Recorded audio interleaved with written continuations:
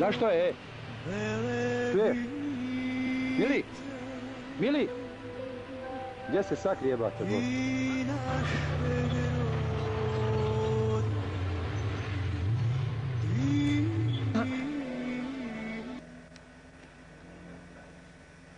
Dečki, kad ste napad izvršili? Sinoć ili pred jutro? Ovaj, Da. je sad. Znači dobili ste što ste tražili. Ali još je ovo malo. Ovo je samo početak. Tek su počeli dečki, evo znam.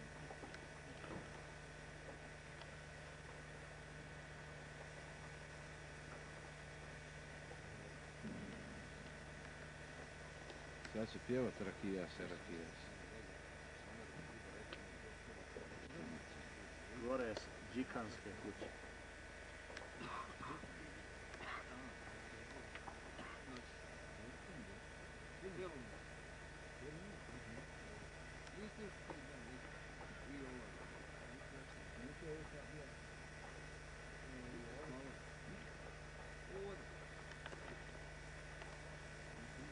Znam domet RBA, 1200 metara. Izgleda da je plinska plaša bila u onoj kući, sasuje kompletno.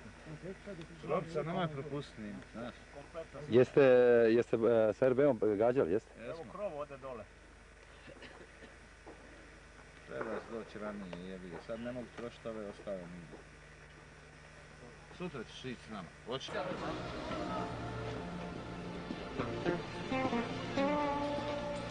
Dečki sa, sa zadatka, sa čišćenja.